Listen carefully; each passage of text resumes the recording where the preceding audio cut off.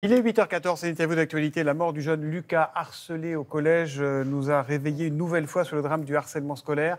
Ce matin, Julia, vous recevez Nora Fraisse, dont la fille a vécu le même drame que Lucas et qui a fait de ce combat celui de toute sa vie. Bonjour et bienvenue à vous. Bonjour Nora Fraisse, merci d'être avec nous euh, ce matin.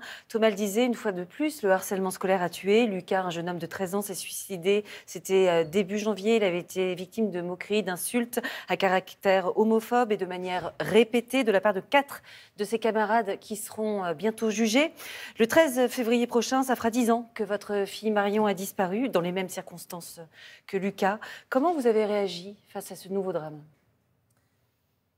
Bah, J'ai déjà dit, j'ai réagi plutôt mal parce que parce que c'est un aveu d'échec euh, collectif, c'est de se dire qu'encore des enfants euh, mettent fin à leur jour. Je suis un petit peu émue parce qu'il y a Thomas Soto pas très loin et euh, j'avais fait ma première interview avec lui en, en 2013 et j'évoquais déjà ce sujet-là et je me dis que dix ans après, on est encore en train de de pleurer nos enfants hein, qui mettent fin à leur jour. Donc c'est assez compliqué, mais, mais voilà, il faut rendre hommage à toutes les familles qui se battent et à tous ces enfants parce qu'évidemment, il y a Lucas, Marion, Dina, Ambre et tellement d'enfants.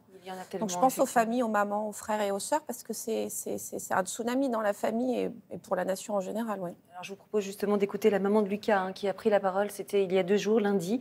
Euh, écoutons ce qu'elle a dit justement à propos des quatre enfants qui sont mis en cause dans le suicide de Lucas qui reconnaissent déjà et qui euh, ça les fasse réfléchir enfin voilà qui qui recommencent pas.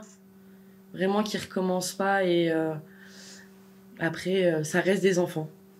Ça reste des enfants. Il faut juste qu'ils je veux je veux qu'ils réagissent à ce qu'ils ont fait.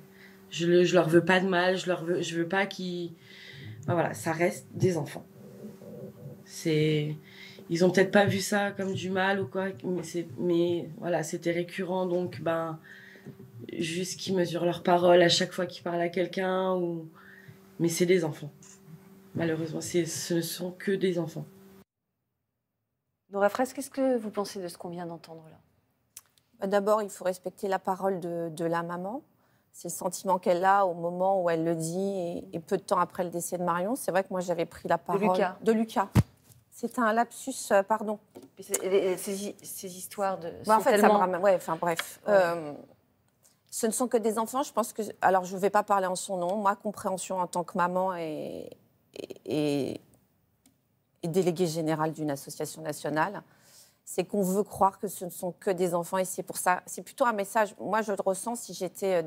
C'est de la prévention. Mhm. N'oubliez jamais qu'un enfant doit rester un enfant et ne pas entrer dans la spirale de la violence qui peut conduire jusqu'à la mort, mais aussi une mort liée à la santé mentale, au décrochage scolaire. Et Qu'est-ce que risque, Nora Fraisse, ces quatre enfants qui vont être jugés, deux garçons et deux filles qui sont mis en cause? Parce que depuis mars 2022, il y a une loi hein, qui dit que le, harcèlement scolaire est un, est un, délit.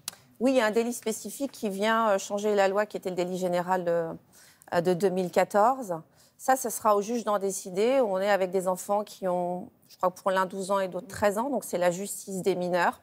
Il faut travailler aussi sur ce qu'on appelle la justice restaurative et réparatrice, comprendre euh, ce qu'on a fait, pourquoi on en est arrivé là, et puis euh, éviter la récidive et qu'on arrive dans des conduites délictuelles à répétition donc ça demande un accompagnement euh, voilà, de ces enfants, de la famille. Il faut penser aux fratries et à toute la famille qui est concernée. Aux enfants qui restent parfois. Oui, parce qu'il faut penser pardon, aux frères et aux sœurs, mais, on pense aussi aux camarades. Je l'ai vu pour Marion.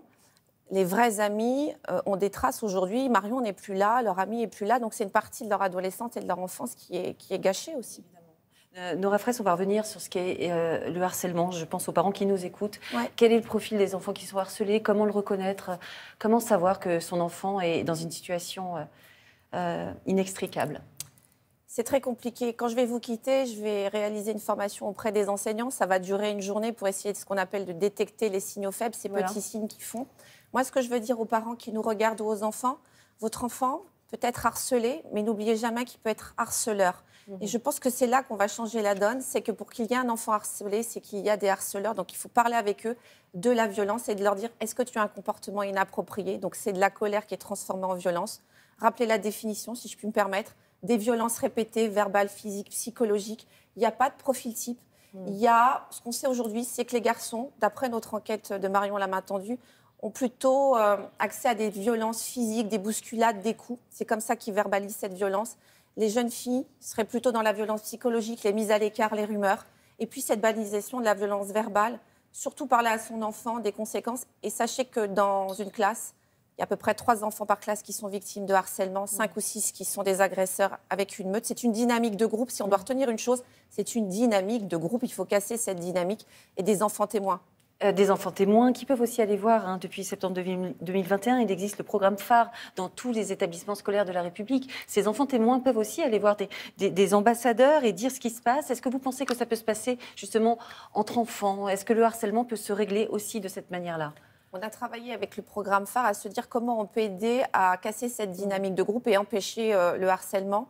Et en effet, alors pas tous les établissements de France, parce que ça concerne l'école primaire et le collège, mais n'importe quel euh, établissement peut se lancer dans ce programme, il est gratuit, c'est de se dire euh, la résolution par les pairs PIRS. Mhm. On sait que nos enfants bah, voient en l'autre euh, son alter ego et l'appartenance au groupe. Donc un, groupe positif, 10 élèves par, par établissement une équipe ressource, c'est-à-dire des personnels de l'éducation qui sont formés pour prendre en charge la parole, l'accompagner, et surtout les familles. N'hésitez pas à poser des questions, à être reçus. Et, euh, Demandez au chef d'établissement. Et puis il y a votre association euh, également qui existe, un lieu de parole aussi, hein, où, la vous recevez, de Marion. où vous recevez les familles Marion, euh, exactement la maison de Marion, ainsi que votre application, on va le voir, Colibri, K-O-L-I-B-R-I. Et puis évidemment, euh, Nora Fraisse, on le rappelle, des numéros dédiés, le 30-20 contre le harcèlement scolaire et le 30-18 contre le cyberharcèlement. Merci beaucoup d'avoir accepté notre invitation. Merci, Merci Nora. Merci. Merci Nora Frey. Je voulais juste vous dire que je me souviens très bien de la, lettre et des mots de Marion que vous aviez lu. C'était sur Europe 1 à l'époque. Absolument. Euh, c'était très, très émouvant. Je partage votre émotion, je partage votre colère. Et le papa que je suis vous remercie pour le combat que vous menez. On est plusieurs. Merci aux bénévoles et à notre équipe. On n'est pas seuls. Merci, bon courage, madame. Merci, à infiniment. Le cinéma